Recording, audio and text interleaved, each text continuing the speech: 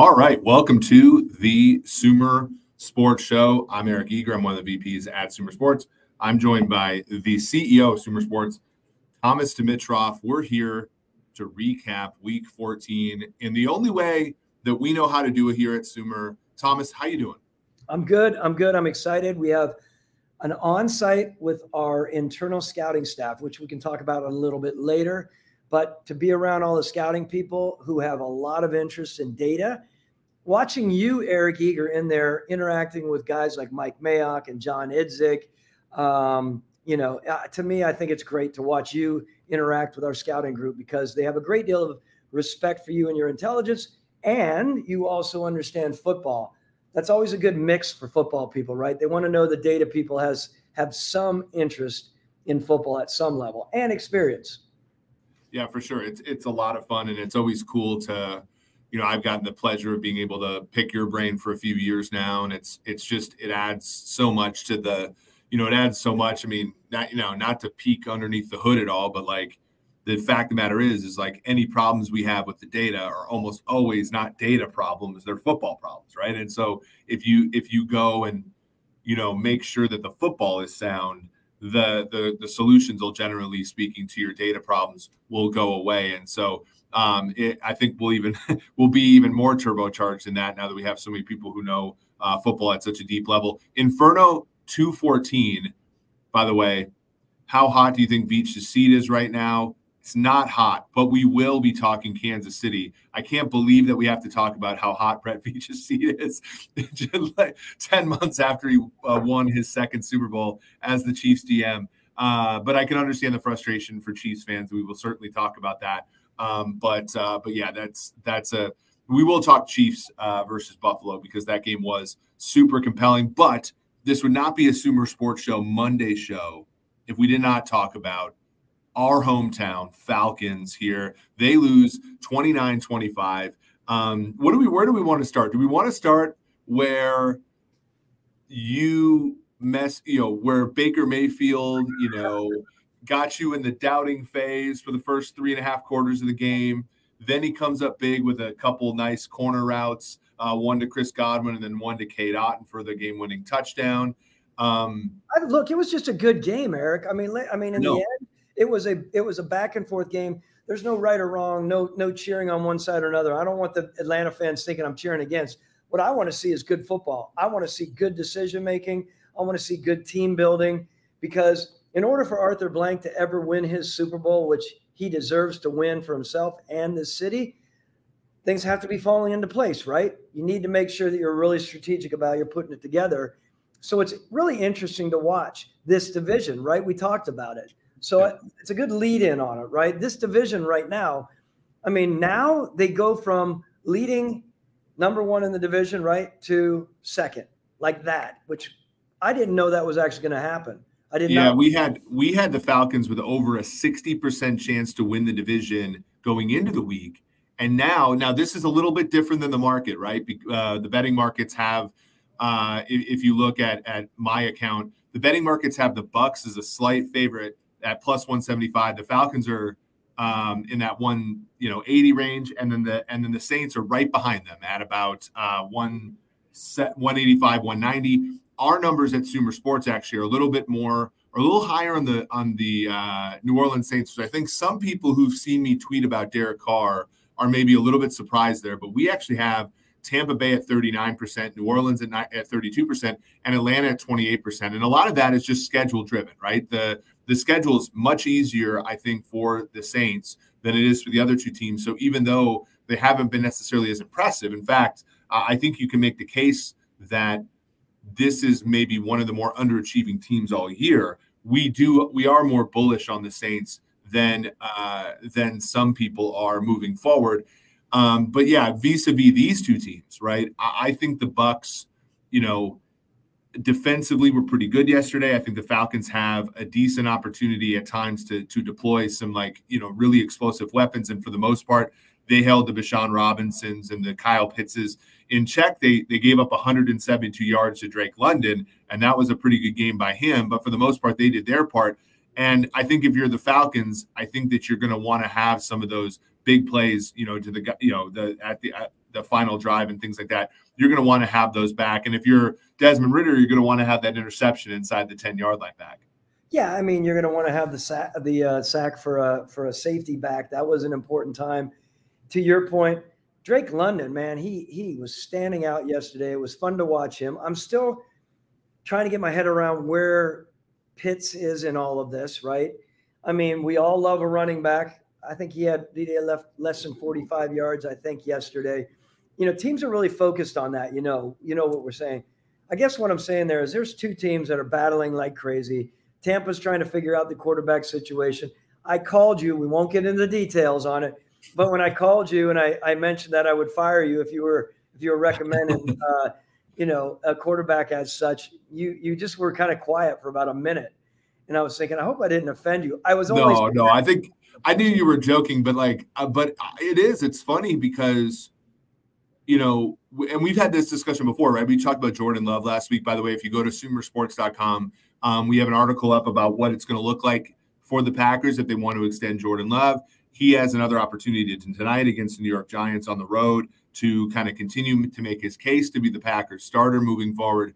Um, but like the number of quarterbacks in the NFL that are of starter caliber is just not very high anymore, right? And so when you look at like Baker Mayfield, like I, whether we like it or not, Baker Mayfield's probably going to get a one-year deal for anywhere from 10 to 15 million to be a team's bridge starting quarterback for a long time because at least you know when you think about being able to keep the thing on the tracks it's not good it's not pretty it's not what you're going to win a super bowl with but right now in the nfl when you have so many i mean you you know we're going to talk to uh, mike mayock in a little bit here but like you look at back at in Vegas, three nothing game. That's two backup quarterbacks dueling it out indoors to a three nothing game. That's just in, it's incredibly hard to stomach. And so a lot of teams are going to prefer the Derek Carrs and the Baker Mayfields and even the Desmond Ridders, even though to our eyes they don't they seem like dead ends, right? Like Baker Mayfield feels like a dead end as a quarterback option in the NFL, even though week to week he he makes some plays that impress us at times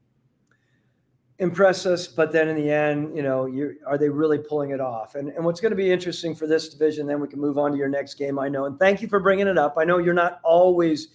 I watch I watch every Falcons game because I know like they're I well for one, um, you know, our models like you know like the Saints and Bucs, so I always like look at the Falcons to see if they're actually going to win that division because I I can't believe it with my eyes.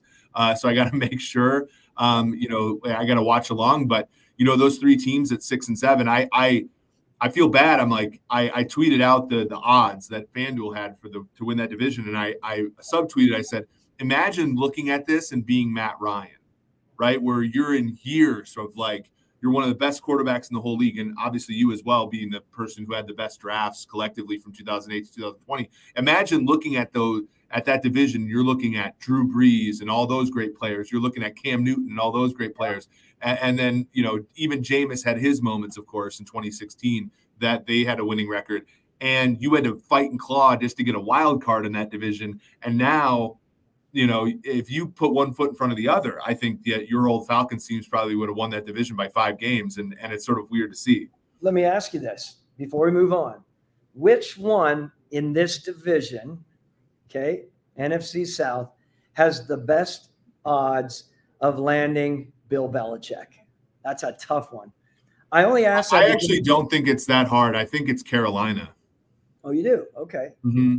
I mean, like, let's talk economics of the NFL for a second, right? So everybody's looking at Washington. I think, understandably, Josh Harris is, you know, trying to, you know, after years and years of the Dan Snyder stuff and trying to project confidence. There's also that cool little quirk that Vince Lombardi coached in Washington for a year after his time with Green Bay. So there's sort of this idea of like, you know, hey, kind of follow the same path.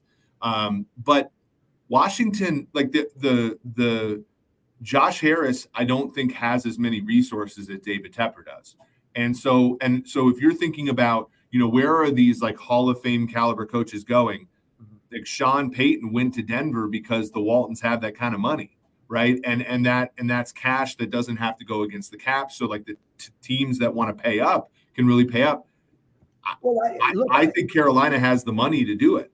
I think Carolina does, but I think there are other teams in this division who are ripe potentially for a Hall of Fame and a Super Bowl winning coach. And I do believe, I've said this many times, I believe Bill can bring a Super Bowl to a team within three years.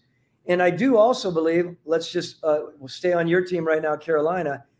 There's a guy out there from another team that might come available. And sometimes he's been there a long time. If Mike Tomlin comes available with David Tepper's connections to Pittsburgh, oh, good call. He has a great, uh, great respect for him.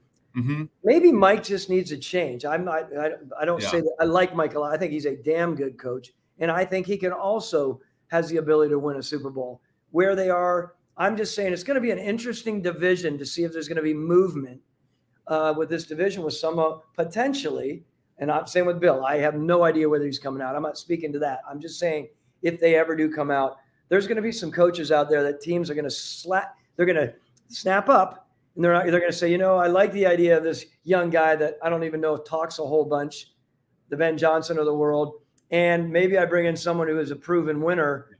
That, that could be the case. Well, and and the honest to God's truth, and I I like Ben Johnson, and we did a lot. We've done we do a ton of modeling on head coaching, but like eh, the sneaky secret is Detroit. The the offensive coordinating for last year's Lions was a they the the numbers look better last year. I'll just say that. So like I, you know, I think Goff has regressed a little bit this year. I think that they've been healthier, even though the offense hasn't been quite as efficient. Last yesterday, now, uh, props to Matt Eberflus, right? They they got that Bears team doing a really good job, um, but you got held to 13 points by a Bears defense that no one thinks is very good, and so I I wonder about that one, um, and that's why you know a lot of people will say, you know, you take a lot of we we look at a guy like Brandon Staley and we ask why did he take a job so fast? Why didn't he let, let his his steak marinate a little bit longer? And I think we see the answer, right? Because you you don't take that opportunity, you go back, and maybe your stock falls. I think about even like at the quarterback position, Matt, Matt Leinart. If Matt Leinart comes out his junior year of USC, he's a top three pick. Comes out his senior year, he's a top what, pick tenth, and and like that's real stuff, right? And and so I, that's interesting. I I don't know if the Saints necessarily will would go for Belichick. Um, I think the Falcons. It depends upon how they finish, but I don't necessarily know if they're going to move on from. You know, I don't think that they're anywhere. Like, I don't see them moving on from Arthur Smith quite yet. Um, and so I, when you said Panthers, I actually thought of Sean McDermott, but of course they got as a segue a very a very crucial win yesterday in Kansas City. Thomas, this is the fourth consecutive game that the Sean McDermott Bills in the regular season have won in Arrowhead. Now, of course, they've lost two playoff games there, um, but they're they're four and oh the last four regular season games there, twenty to seventeen. It was a game, obviously, that everybody's going to remember the Kadarius Toney offsides, the creativity from Travis Kelce. You know, you know, I'm a Chiefs fan, so I watch these games. I'm at the end. I'm, I'm thinking to myself, like, everybody's going to focus on the Toney thing, but I look at the drop passes, I look at the penalties, I look at the missed tackles, I look at and I just I don't think the Chiefs deserve to win that game. I so I'm not all that upset about the penalty, you know, the calls and stuff. This team doesn't leave itself any room for error. And so when they make errors, you know, they're top 10 in terms of penalties, top 10 in terms of turnovers as far as differential like the Bills came in there and they were the better football team yesterday. Like that to me, I think that you know, good work by McDermott. I know it's a rough week for him as far as that story that came out and everything. What did you? What was your takeaway from that game? I, I just what I do want to know is uh, like, first of all, what was your take on Mahomes and his blow up at the end? And has that happened? Have you seen that by the way? No. So so I actually, so obviously it's a bad look, and I think going up to Josh Allen and saying and talking, you know, that's not a great look. That I don't like that. Mahomes this season has deflected blame almost the entire time. You know, Marquez Valdes-Scantling dropped the touchdown. He said, you know, I got to throw that ball better. you know, he's he's always he's shouldered a lot of the load on this team, and I don't think he's playing as well as normal. Like I don't think he's played as well as he did a season ago. So he, you know, he he's regressed a little some. I don't think Andy Reid yet has really pulled out all the stops. And so I think that they're kind of ironing stuff out. This team kind of reminds me of the 2018 Patriots, where like they lose, you know, they, they're not quite there. They're Super Bowl caliber, but they're not kicking teams' ass.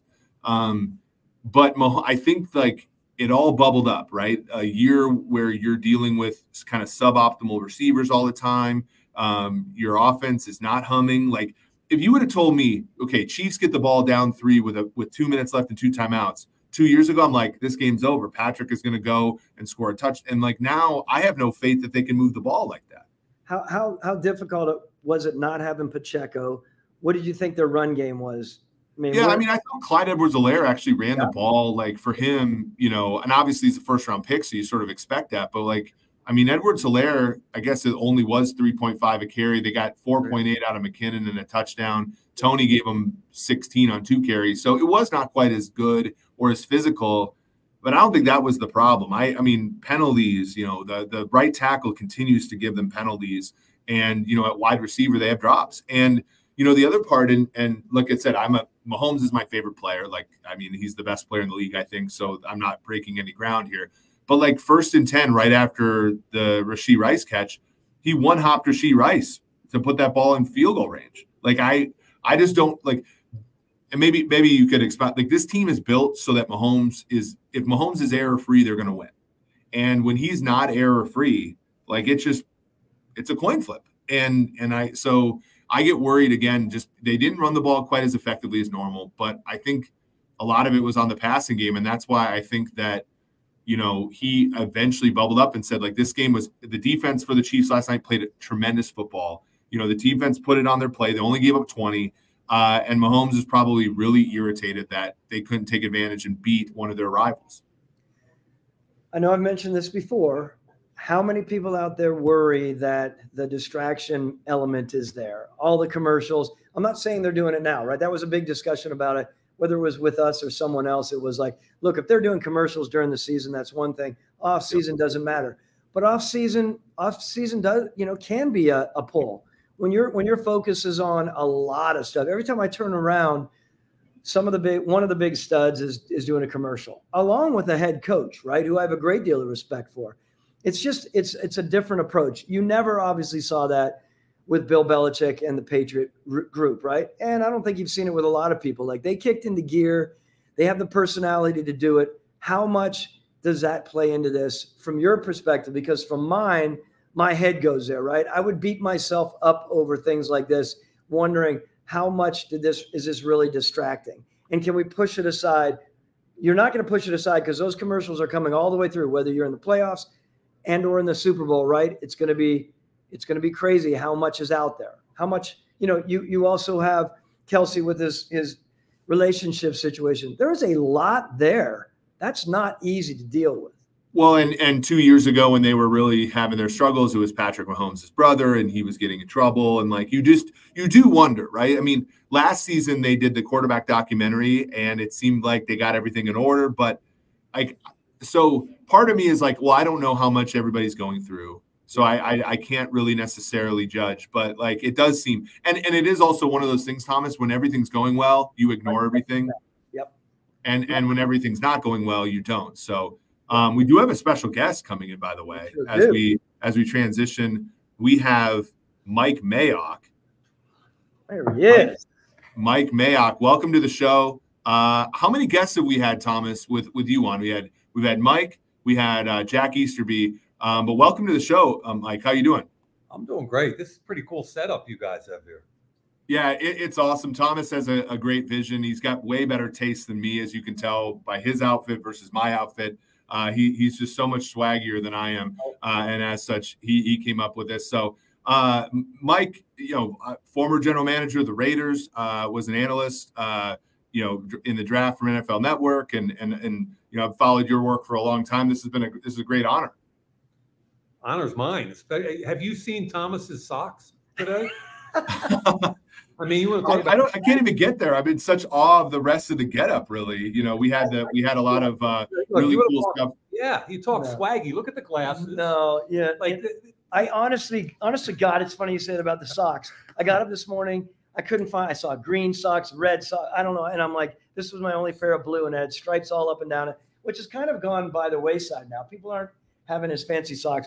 But we're not here to talk about socks or glasses. We are here to tap in to my guy here. Like this guy, we'll get into it in a minute here, but just so everyone knows, Mike Mayock what we're doing at Sumer Sports right now and Mike Mayock's involvement is something that we are extremely proud of. And and Mike's interaction with us from obviously a very very intelligent and insightful football perspective, also moving along with us talking a lot about data and the direction of data, which is not easy for some of us who consider ourselves as old school, right? Yep. 100%. But but we, we, you know we're all learning and growing from guys like you, Eric. We can yep. listen to guys like you and be really edified. But let's talk let's talk a little bit of Philadelphia Eagles that game. But I would love to circle back on this before we cut off here. Yeah, for sure. I mean, like let's uh, yeah, I let's let's talk first about what we're doing here, right? So we have at Sumer Sports, uh, we have our own our own scouting department, um, which is different. Like obviously, I have you know roots at PFF where you know we have data analysts kind of collecting data and, and producing a grade. This is a little bit different and uh, much different. This is sort of exactly what you know NFL teams do. This is exactly what uh, different services like Blesto and, and others do, um, where you guys are watching film and you're putting a grade on a player. You're adding that that context um, that is difficult for pure data analysts to arrive at. And you know what I think about when I think about this richness of data is like from either from like a you know obviously a forward facing like sort of gaming perspective there's just so much there to be gleaned from it but obviously for you know the for teams who are trying to look for a second you know opinion on a player um, I, I, think that this is incredibly valuable stuff and obviously selfishly for me uh, just being able to interact with you and see what you guys see uh, even even from a you know a, a, a, a, the view that i have it's so it's so incredibly valuable and and you know, to get you guys, I think when you guys are talking to each other about players, there's just so much I, I can pick up on. You know what's kind of cool though, Ark, and, and you you touched on it on one side of it. The flip side is being around you and the data guys opens up doors that Thomas and I maybe hadn't looked at before. And the way I look at Sumer is that it's it's kind of the proper marriage between respecting football okay so that, that we are putting grades. Human beings judging human beings. And it's yes. hard it's hard to get away from that piece of it. Yet we're also taking a, a, something driven by analytics and forcing us all to open our minds a little bit to try and get to the best answer. Not a answer the best answer. And i think that's pretty cool yeah, for sure. There's so much. Yeah, I, I even think about, you know, like, for example, on our website at sumersports.com, we have, you know, statistics for every single player. And the leader right now in the clubhouse for what's called expected points in the passing game is Brock Purdy, right? And I think that old, you know, analytics, right? The, the from um, you know my perspective, it's really hard to untangle what Brock Purdy is doing from what Kyle Shanahan is doing. And so, you know, I think if somebody has a naive view, they're going to say, well, Brock Purdy is the best quarterback in the NFL. And, you know, from you guys' perspective, you're able to go in and look at the traits and, and you're, you're able to look at what has had, you know, success, you know, you know, front to back in the NFL. Like when they do this, you know, this, this sort of set of traits can transcend scheme. It can transcend surrounding talent. It can transcend all of the stuff that when you just look at the, the statistics, those are contextual pieces that maybe get lumped in too much. Or if you try to do too much, like if I just dismiss every quarterback that's ever played with Kyle Shanahan, I'm going to miss out on, you know, Thomas's guy, Matt Ryan, who was pretty good no matter what scheme he was in. And he was just a little bit better with Kyle. And so there's just, there's a lot to do to your point of like, you know, eh, eh, but at the same time, there's, there are obviously gonna be players you know, I think about like Elvis Dumervil. I think about guys in the past who like didn't London Fletcher. Now Ivan Pace for the Vikings. If people watch like a 5'10 linebacker whose statistics in college were amazing, but he doesn't necessarily have the same traits that some of the other guys who have played linebacker at a high level in the NFL have done. And so to your point, Mike, it's just this perfect marriage uh, of of the two systems where you can sort of take the average of the two and say like, look, traditional scouts are really good at evaluating, for example, safeties. Analytics have been notoriously awful at it. Okay, so let's let's see if we can bridge the gap here versus you know a position like I would even say like edge. Analytics is fairly good at at at coming up with who's going to be a good edge player. Is he big, fast, or strong? Can he is he productive in college? Okay, he's probably going to be a pretty good NFL player. And so we can sort of like weigh different things different ways and again, having you guys' knowledge, having our knowledge on the analytics side, uh, I think is a is a fierce combo. You know, you mentioned a, a name, Brock Purdy. People are, are people are on all sides of that fence with with what he is or he isn't because of Shanahan and that whole coaching tree.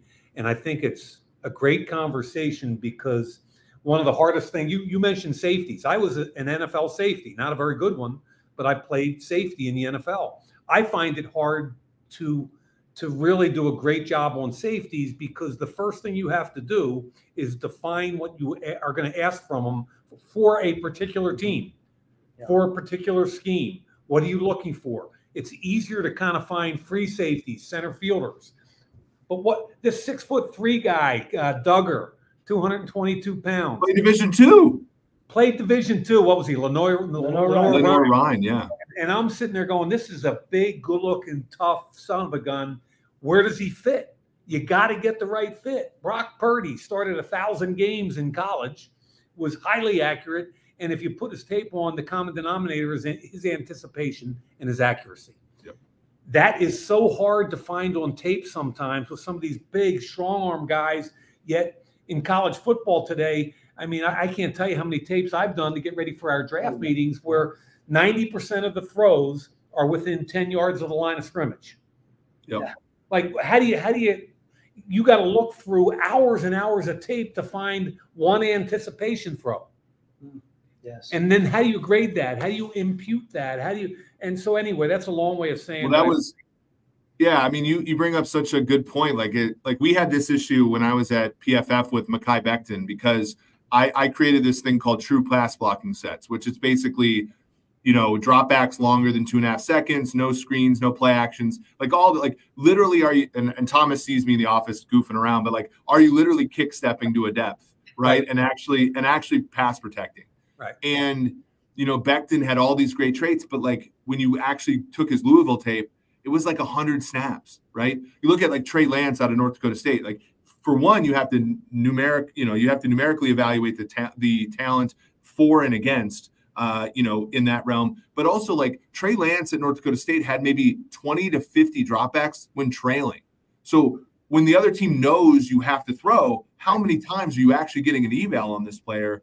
And so then, you know, so there, there's a there the information we think about data, big data, we think about all these snaps the player gets, but a lot a lot of times the decision makers like you guys are making these choices based upon a small amount of information that that's been gathered, and these are you know you don't want to ignore them obviously. Like steve mcnair for example hall of fame kind of caliber player uh, at alcorn state. So you're pretty glad houston didn't you know pass up on him. But but for a lot of other players i think the niners probably would have wished they would have taken a quarterback who had maybe a little bit more information added to him. You know as you're talking i'm trying to think the tape i've, I've watched this year. There's a high level quarterback one of the games I did, 31 of his 33 throws were within eight yards of the line of scrimmage. 30, yep. and the other two were over 21 yards, and he was over two. And he had nothing between 11 and 20. Nothing where he had to drive a ball yeah. outside the numbers or, or anticipate in behind a linebacker. And you sit there and you go, okay, he's a good athlete, and that was fun to watch, but where am I? Yes. Yeah. I got to find some more throws to, to justify whether or not – I think at a certain level he'll ever anticipate or be able to drive a ball like that. And that's a great point as we really start digging into personnel. Uh, was that Bo Nix? Is that who you were talking? Yeah, about? we have we have our listeners, uh, Mike, who are who are who are are trying to guess who you were talking about, and so I posted a couple yeah, of them. He doesn't want to talk about it yet. Yeah, of course, that, that's fine. Yeah, I mean, to your point, like Justin Herbert's tape was like that, right? When you actually went and looked at the last few games of Oregon, like the last few seasons of Oregon, like I, I can't remember what percentage, but it was a significant number that were underneath. But that of course you you ask the question, is that is that a bad coaching job on their part where you have this robo quarterback who can hit all these doubles? We could do this for like five hours now. Yeah, yeah. That's right. Now, yeah. now yeah. I remember meeting with Justin Herbert, and my whole conversation was driving towards Justin. You got this huge arm, you can fit it anywhere and no disconnect, no um, disrespect towards their offense. They're a run first team. Okay, yeah. they have an attitude of running the freaking football. I just did all of Bo Nix's tape and all of you know that both those uh, Washington Oregon games. Oregon wants to run the football. They want to throw the ball laterally, horizontally, right? So how do you evaluate that kid? So Justin Herbert, I'm sitting here with I had 50 um, snaps ready to go for him, and we are going to sit down. Yeah. I had 50 pass plays laid out, and it was almost all where I thought he was too conservative, where he wouldn't rip it with that. So it was kind of like a um, stutter go on one side, okay, with a seam on the other versus single high. So all he had to do was kind of move the safety yeah, yeah. toward the stutter go and come back. And his job now, the wide receiver's job is to beat the corner to the inside, inside leverage. His job is to fit it between the corner and the safety. So he's got to beat the safety. And I'm looking, I, I got the tape and I'm like, tell me what you're thinking. Yes. You looked right at it and you checked it down. Why? And those things are what make, to me, scouting so fascinating, yet also so human based at times yeah. that I actually welcome some of the data that supports yeah some of the other stuff. Yeah, I mean, the data can really help. Tom, I want to expound on this a little bit, but like the data can really help you ask the questions, right? Like, because I, you know, I'm a fan of all football. Like, I watch every game of like, I, you know, and I, but you can get these biases, right? You can you can develop them. You're like, oh my, I, you see one guy rip a post pattern. You're like, this guy is a a daring quarterback, and then you look at the data, and to your point, like it's like, well, why are seventy percent of his passes within negative five to ten yards downfield? Like and so you, you go to ask that question, and then you know this gets to a lot of scheme. You can't kill a kid yeah. to do what his coach is asking him to do. Yeah, and, is what exactly. so then, yeah, so then you look at it, you look at other players who play in that scheme, and if they're doing the same thing, then you know, and that's why like a lot of metrics are what are called above expectation. So basically, you take mathematically, you look at down distance, you look at scheme type, you look at all protection type. You look at all those and then you say, what percentage of passes are more than 10 yards in this offense? And maybe his number's low, but his number's higher than other players who play those same. And so you can kind of tease that out. But even then, there's so much movement now in college football coaches and all this stuff where you really have to do your digging to make sure that you're asking the right questions. Because to your point, a lot of these players are just doing what they're asked. And especially at the college level where you know, with NIL, it's maybe going to be a little different down the stretch. But in the NFL, some guys have a little bit more autonomy because they're the ones making all the money. Versus in college, you're just trying. You, I mean, you're trying to make sure that your coach tells the Thomas Dimitroffs and the Mike Mayock's of the world, like, hey, this is a good kid. He'll he'll follow directions. He's not a he's not going to go off the off the script and stuff. And so there's there's less autonomy than I think people believe. Drake Maye is a guy this year that I find intriguing for several of the same reasons that I did with Justin Herbert. And I think he's ultra conservative. I think they throw a lot laterally in that. And then at other times, I can pull clips out and see him drive the ball down the field. It's really fun. Who was it against? Um, North Carolina State, I want to say. They got behind, yeah. and he was forced to have to rip the ball in the second half. That's the kind of tape you got to go find, right? They're yeah. down 14 or 17. He can't just rely on his legs, which is what he wants to do right? So now he's forcing and anticipating and throwing and trying to throw back shoulders, throw guys open. That's what I want to see because there are some guys in the draft that do it naturally. Go look at the USC kid and watch him run around. Watch Michael Penix. You know, there are different guys that you can see plenty of that tape. But Eric, to your point, when you don't have as big a subset quantity of, of comparatives, it's really hard as a scout to bang the table and say, yeah, I know he can make that throw and he can do it in the NFL on a consistent basis. Let's let's talk two quarterbacks in a game, Dallas, Philly. I want I we need to get this is a well because because I I really like this discussion vis-a-vis these two guys, right? Because Jalen Hurts coming out, right? There was there were hit. I mean, when you look at just raw numbers, his one year with uh, Lincoln Riley in Oklahoma, you're talking about a guy, great completion percentage, great yards per attempt, all this kind of stuff. But there was always questions about processing. Like Mike, we do this cool thing at, at Sumer, um, which we we take scouting reports and the words that go into them. So all the great work that you guys do, and we compare the words literally between the players. And so you have like with a guy like Jalen Hurts, you have maybe somebody might not slap a great grade on him, but they might say things about him in the notes that are similar to other great players. So, for example, with Hurts, and I know this isn't necessarily apropos anymore, but at the time, it may, you know they were comparing him to Deshaun Watson, the leadership kind of capabilities at Clemson, winning the title and, and going into Houston and having leads in the playoffs and all this stuff. And like that, that's kind of been what I've seen. Like I don't. So the, in, in this case, the scouting report kind of rings true. Not great in terms of like anticipation, I don't think, but has the athleticism and the leadership capabilities where he can carry this team to a 10 and 3 mark. And what I think is really cool, guys, is when I watch Dak Prescott now with the Cowboys, I see him taking a little bit more leadership. I think Mike, you know, Mike McCarthy takes over that play calling role from uh, Kellen Moore, and he's put some of that responsibility on the shoulders of Prescott. And I think over the past two months, what you've really seen is a quarterback kind of coming of age. So we're talking. Interestingly enough, we're talking about a second round pick and a fourth round pick, mm-hmm. right? Dak was in the yep. fourth, and Jalen was a two. Um, what impressed me about Jalen in the process, we interviewed him at the, at, um, at the combine, and it was less about the tape and more about the kid. The kid was one of the most genuine young men. It's hard to get an impression with the amount of time you're given. So I wanted to spend some more time with him. Um, one of the most genuine kids, how he handled the demotion at Alabama to Tua um, with class, dignity, professionalism. You could see him being the face of a franchise.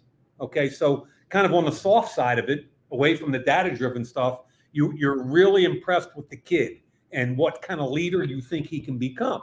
That's point number one. Point number two is okay, what kind of scheme did he come out of? You know, when you talk about anticipation and driving the ball, you know, a lot of RPOs, right? A lot of either this or that kind of decisions, which don't lend itself as much towards the quote traditional West Coast or whatever you want to go go towards. Um, but what has developed with the Eagles, and I live in Philly and I've seen them practice a lot and I know their people pretty well, is they build a system around him, which is what good coaches do, right? What does he do well? This year, what I found intriguing was I was at training camp several times, and I'm thinking to myself, the first thing defenses are going to do after his success last year is they're going to take away the planned quarterback run. Okay, that was kind of their wild card last year that made them special. You know, they had the RPO game, they had uh, great wideouts, they had a good running attack, but on top of all that, you have to account for the quarterback as an extra gap in your in your run scheme. Okay, so what happened the first three or four games of the year? I think it was New England week one. New England defense played really good against them, and they struggled, and they took away his run game, plan, the planned quarterback run. Mm-hmm. And then the first three or four weeks of the season, people are going, "What's wrong with Jalen Hurts?" And I'm like, "Well, you know, they've taken away a big part of what the Eagles do. They're going to have to, they got a new co- coordinator on defense. They've got some different pieces. They got to figure some things out." And then he gets hurt, and he continues to play, right? So to me, there's still on offense. Every team's taking the planned quarterback run away to an extent he's beat up with the knee. You could see him with Dallas last night. I mean, they're running that uh, Kelce out in front of him, him behind, and he's just sliding whenever he could pick up six or seven. So those 17s and 18s are now sixes and sevens. Okay. And teams have a much better idea what to do to slow them down a little bit. And I do believe he's hurt. A lot of people are questioning whether or not he can process and get to two, three, but that offense isn't really set up to do all of that. Dak Prescott to your point. I apologize for this long answer. No, it's all. It, this is great info. This is stuff that, of course, uh, Thomas and I have hinted at a lot of the show, but it's obviously great to get confirmation on a lot of this. Um, but Dak Prescott, yep. to your point, Eric, which I think is a great one, is Mike McCarthy takes over, gives him even more ownership of that offense, and they have a shared vision, a common vision. They struggled early in the year right? They had two or three bad games in a row. They got spanked by San Francisco. You know, Philly beat that Philly tape, by the way, is the first one. The first tape I watched every snap, both both sides of the ball. That was a hell of a tape to watch. And the right tackle from Dallas got beat up a little bit. He struggled. Steele, um, you know, that caused Dak some problems with getting the ball out. Um, 88's a bad dude. You know that that tight end is a developing tight end. Ferguson, um, I think he's Barry Alvarez. Is uh, there's nothing there's nothing better than a than a tight end that's willing to run up the seam and get cracked, right? Like he uh, that that guy is fearless, and Dak will throw the seam better than any any quarterback in the league, I think. Yeah, and then you got a run game, you got an O line. You know, both those two teams are similar on offense in that the quarterbacks are really running the show, but they can run the ball. They have devastating wideouts, and when healthy, you know, the Eagles got Goedert back last night that Dallas has Ferguson. So I think offensively, you can throw those two teams up against the wall and say, yeah, schematically they're a little different, but they're built in a similar fashion. Dominant offensive line, really good skill skill guys, and a quarterback that is a great leader that was not a first round pick with physical traits. Kind of intriguing, right? Well, and I think especially in this NFL where Thomas and I have had this discussion for a long time now that you know Matt Ryan's retired, Drew Brees is retired, Philip Rivers is retired, Ben Roethlisberger, Brady. As as you start to see these, and then it's not one for one. It's not Herbert comes in and Brady leaves. There's fewer great guys that are coming into the league than are leaving.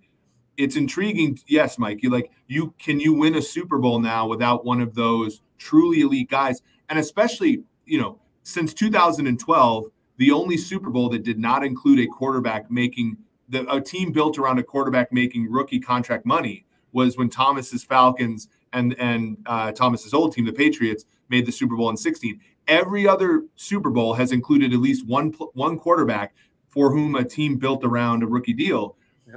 That's not that's not probably going to happen as much anymore because you can have some of these guys who aren't like the on you guys' scale the nines right playing quarterback but are still making nine-ish money like you can still do it as long as the coaching staff and this team is willing to marry those things well. And you're seeing that with Hurts and you're seeing with Dak. Those guys are both making good money now, but you're still able to be a Super Bowl contender because, to your point, they build the entire airplane around him. And I want to sort of get to this because both of you guys were team builders in the NFL.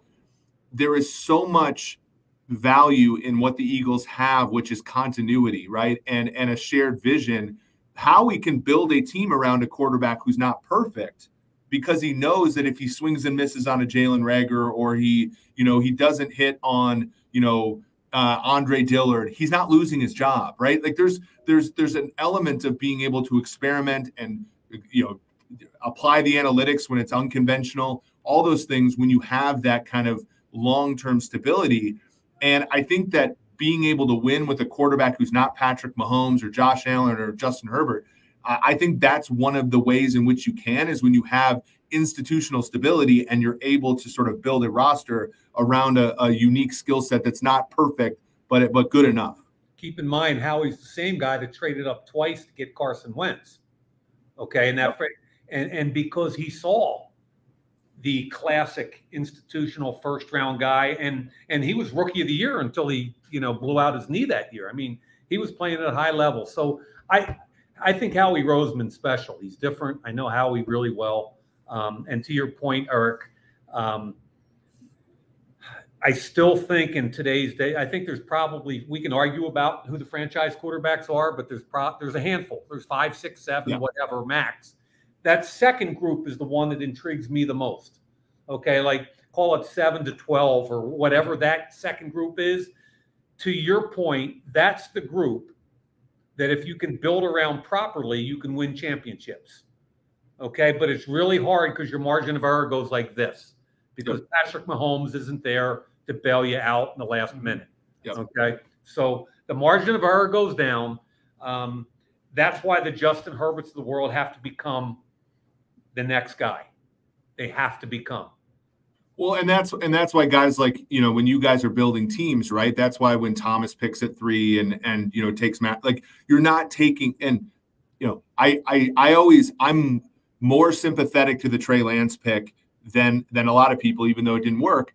That's why you don't take Mac Jones at three. To your point, like that, you know the the uh, rumored pick because we've all seen that Mac Jones has significant limitations. So when those perturbations hit the hit the team, right? It's not Whereas, yeah, Trey Lance was a bust, but like everybody saw Patrick Mahomes there, right? And everybody saw kind of that that potential, and well, that's what you're buying into. I'll tell you this though. Not everybody, of course, but but some be some Mahomes, The Mahomes thing's really interesting. I'll, I'll be really honest with you, and you can look this up. When I was doing stuff for NFL Network and had a list of top 100 and all that kind of stuff, I went on the air and basically said, "Look, I don't. I watched every throw Patrick Mahomes made at Texas Tech, every one of them. And I came out of it and I said on, on the air, he's either going to be a Hall of Fame player or he's going to be out of the NFL in three or four years. And I don't know, and I can't tell you which way it's going. I think I put him at like player number 30 on my top 100 because I just didn't. He made so many bad decisions at Texas Tech. I can't begin to tell you some of the throws he yeah. And the reason he did was he was not on a good football team like Matt Ryan at Boston College, and he was trying to throw guys open, trying to win football games, right? And now Patrick Mahomes is they're, they're building statues already. I mean, well, I mean, think about Brett Favre. Brett Favre was a backup behind Chris Miller and Billy Joe Tolliver. Yes. Then he goes and he and and then he obviously gets out of Atlanta and everybody. You know, uh, Chris Miller made the Pro Bowl the, as rookie year, so they, they should. is critical. The fit is critical. Yeah, and Mike Holmgren, of course, Mike Holmgren should be in the Hall of Fame. He he of course developed him and and and fought with him, and everybody remembers the the 1994 game where they were going to put Mark Brunell in, and then he decided against it. Like the whole you know. A lot of these these things, we live in a threshold world, like pandemic. We live in a threshold where, like, the difference between, to your point, Hall of Fame and out of the league is not that big, right? And and and that's obviously you know humbles us as evaluators you from the scouting side myself from the analytics side but it, it, it's it is literally that tenuous and that's why you know that's why a lot of this this stuff is you know you, you really have to pin down uh, what you're looking for and what you're building the best, thing that ever happened to patrick mahomes yeah, it was Andy Reid. Well, Andy Reid, of course, was in the building with with Brett Favre and, and kind of knows how to you know to build a structure around a player. Who, to your point, though, and I apologize for jumping in. I'm getting excited here. To your point, like he ends up with Andy. Andy trades from 31 to 10 or whatever th- those numbers were back back then. Um, if he ends up at the wrong place, are we talking about Patrick Mahomes today the same way we are if he ends up? I mean, Justin Herbert right now. I mean, I feel, I'm, and I'm not taking any shots anywhere because I'm not in the building. Yeah. I'm just saying that's a talented kid. It's a talented and you feel badly for for him, and and he needs to become the, a dude. Completely agree with you on Herbert. Yeah. So let, let me ask you this before we leave, because I know we're getting closer to 50. Um, Mike, so you and I were talking a little bit earlier. We don't go, go in a ton of depth of this. Tis the season. We're getting closer to all the discussions about coaching changes, GM changes. There's a lot of that without getting into detail about that. Eric and I have talked ad nauseum about this. Probably people are getting sick and tired of hearing me say it, but there's a lot of there's a lot of nuance to it, right? How how it happens, what's going to happen, who's going to be set up, who's going to be staying with the team, ownership, dealing with ownership. Um, again, without getting specifics, do you think yeah. there are going to be five to seven complete organizational changes in this league? My message would be this, and there is every year it seems like, yeah. right? But yeah. my, my message is really this: is is that from an ownership perspective, these guys need to understand how critical critical continuity is in any industry. And if you look at, I, I always like to use the example of the NF, AFC North, and you look at Pittsburgh and you look at Baltimore. Okay, two teams that have minimal turnover amongst their GM and head coach. And even when things aren't as good as they want, the owners stick in there. And by comparison, if you look at the other two teams in that division, they've struggled until recently. Mm-hmm. And why? Because finally they've stuck with people. Okay, they're making decisions. Kevin Stefanski's doing a great job. Berry's doing a great job. Cincinnati has pulled their, you know, Joe Burrow's a big piece, but still, Cincinnati's doing a great job. And to me, it comes down to you can't change your head coach and GM every other year. And now you're changing scheme. Now you're changing everything. You're you're you just you're changing data, like how you tag everything, how you how you scout players, what you're like. The big thing, like let's let's go underneath the let's go underneath the uh, hood a little bit here. The hardest part of our job at Sumer is like we just started a year and a half, two years ago, and so some of our data is only a certain number of uh, years long, and so so we don't necessarily know when Mike Mayock slaps a, an eight point seven on a guy. Like we we don't necessarily know until you've slapped eight point seven on about ten to fifteen players what that really means. And so again, like you come in, I think about Kwesi, you know, Adofo-Mensah in Minnesota. He shows up wants to be the analytics GM, but you got three months to build a draft model. Yeah, right. Good luck right now you're going to be drafting based upon the guy who was just fired his grades right? And like it, it, to your point like we we oftentimes do not appreciate how long and you get what seven picks a draft on it like you know on average 10 uh, at the you know very highest if you're looking at averages. So you know does anybody actually know if these guys are like Kwesi had one draft where literally none of the players hit, and now he's in another draft where literally all the players are pretty good. And so, like, what is he? Is he good or is he bad? And I'm you, you throw your hands up, you say you don't know, and, and that's true about a lot of these guys that get fired. And, and I think what's important for me to ask Mike, and I'll be interested to get your take, can be big picture. I have a strong feeling if I were to sit down respectfully with an ownership group of 32 owners or whatever it is, I would say the the the responsible thing is to make sure that you are going into your search committee on your next selection of your head coach and or GM and to not just have a couple randos within your building helping you on it, right? The the search group is vital. I'm not saying many of them have randos. I'm saying there can be ulterior motives within that building of who wants to be a part of bringing someone else in. I have a strong feeling, Eric, and I've, I've told you this before. Some owners are being guided by presidents and some of the presidents are great. Some of the presidents aren't involved. Some of the presidents are. But some are saying, well, I don't really want this really, really strong GM and really strong head coach because my presence in the building is going to be minimized, right? As a president. So are they guiding the owner in a different way? I'm not just saying that that's always way, but I'm saying an owner, respectfully, his responsibility is to look at who his group is and who's looking for what and what the are there ulterior motives to have a certain person come in? If the person is coming in, he's going to be the best choice to win games and ultimately a Super Bowl. That's vital, which comes back to me back back to Bill Belichick. I think Bill Belichick can win a Super Bowl in the next three years for the next team if respectfully he does leave there and goes somewhere else. But you have to be an owner that understands and a president that understands he is coming in as these are. Yep. He's not coming in at anything but that. So my I guess my point is I think it's all part of everyone growing and, and learning again. And I think it's really, really important to make sure that the owners are looking at their growing group and who's going to help them pick their coach and their GM and look at it closely and not just look, whimsically look at it. Football is not the core business for most owners. Okay. Sure. So we're, we're at a point now and I, have had this conversation with a bunch of people, and it has to start with the owners. And whether it's a search committee or whatever it is, and you're trying, you've got to define your parameters, what you're looking for. But and every team's a little different. But I'm getting tired of who's the next Sean McVay. Like that's what happens. There's this herd philosophy in the NFL. Like, oh, we have to find the young offensive genius. Okay. And what drives me crazy is what we lose in the translation is what it really does come down to first and foremost is who's the best leader of men. Okay. I can go buy scheme.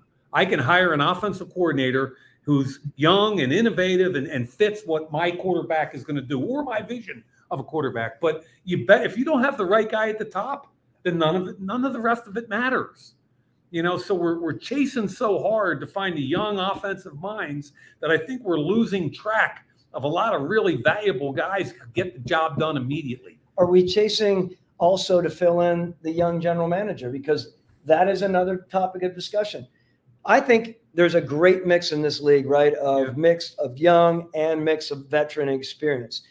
And I think it depends on the organization, I right? Agree. There may be, I mean, Mr. Tepper may be looking for something as youth, youth, youth, or he may be looking at something else if, if something happens he's got to make a decision on that, right? Yeah, but you don't want to be making that decision every year. No, no, you don't. Which is no, what we're doing. That's right. You know, well, and and you, to your point, Mike, I think you made a tremendous point, and there's there's a good um, uh, comment here. Does Dallas weirdly have a potential edge with Jerry Jones basically running the thing as a family? I, look, it, I think that that is, you know, we've seen in Carolina, for example, a, a person who has, you know, a very tried and true business uh, acumen trying to run a team like that getting having fits and starts. There's also, I mean, football. To your point, is is a game of people and having the people skills and everything like that. Especially, and this is this is what gets tricky when the profit motives in the NFL are not tied to winning, right? Like it, it's it's unlike any other. I mean, uh, Snyder just sold the the Commanders, like made a fortune off of them, and that wasn't a team that necessarily had any success when he was there. And so there, there's this like weird, there's this weird thing where, you know, it really does take a combination of people who have outside ideas because you want to innovate, but you also have to understand the game of football so that you understand how these components work together and how players react to certain changes. And I even we at Sumer have this, like if we ever do a reorg or something like that, there's always these personal things, there's human things that are not necessarily appreciated by people who come from the outside and are not necessarily used to dealing in football. And I know that that comes off as a little like fuddy duddy or whatever, but I do think that that like there is an element of the footballness to all this that is important to to actually have a you know to actually you know put into the put into the cake. Eric, and last thing I'll say, and then I can turn it over to you and we can finish off. It's again, I just want to make sure I'm clear on this. The ownership, there are some great owners in this league. There are other owners that are learning along the way, right? And I think it's imperative back to selection group that they're working with. That's important how they're going to put that together. It's also important that they look and understand there are other waves of selection process people out there, right? We've, we've seen some great men, Bill Polian, Ernie Accorsi, uh, Ron Wolf. Those people have been vital in helping a lot of teams along the yeah. way. There are also some other search people out there who who, are, who do a great job, who have a fantastic background, who can also fold in and be be really good for these owners and helping them get to the next spot that they need to get to. Because, I mean, look, there are some outrageously intelligent owners, but to Mike's point earlier, their background isn't in football, right? So hopefully they can utilize all their great intelligence and fold in the right football people to help them build the right organization for Super Bowl purposes. Yeah, organizations start number one with the owner, and in the NFL, that's often a wild card. Number two, there's a relationship between the head coach and the GM. If the head coach and the GM are not tied at the hip philosophically, you got no chance. It, it, it's hard enough to win when you are tied together, let alone when you're not. Mm-hmm. And then lastly, it's the quarterback. Going back to Eric's comment, I mean, yeah. there's still five or six guys that can help you get to a Super Bowl better than anybody else, and they're quarterbacks. So, yeah. you know, if you're not hitting on all three of those cylinders, then your chances of making it playing in February are very minimal. That's why it's why I say all the time. I mean, Brett Veach, Brett Veach is a good young general manager. Yep. He argues with He's me. I'm not I'm not young anymore. I'm like, no, you're not. You are so talented in what you've done. And he has a trifecta. He's got one of the very best owners in Clark Hunt, one of the very very best head coaches in Andy, and one of the very best quarterbacks yeah, it's, everybody. It's, I always say the quarterback is management. Like whether he wants to be or not, he's part right. of management. Right. And like yeah. there are, you know, there are some guys who take that on, and there are some guys that don't. And you know, like to your point, Thomas, when you were in Atlanta, like Matt Ryan was the face of the franchise. He did a lot of stuff, you know, to make sure that that, that was true, and that and you guys won a lot as a result. Definitely, hundred percent this has been this has been a tremendous conversation. We want to thank everybody who's been in the chat, everybody who's listened on Twitter. I think Thomas, we're going to set records. We got to we got to send Mike uh, another uh, bonus for that, probably. Uh, in in, uh, in all honesty, a glass of red wine tonight. yeah, I'm getting a glass. Yeah, that's right. That's that's that's going to be the the bonus here. But we all want to thank you all for coming. Hit the like button, hit the subscribe button, tell your friends about the show, um, and uh, we'll we'll see you on Wednesday. So for Mike Mayock, for Thomas Mitroff, this has been Eric Eager. This has been the Sumer Sports Show.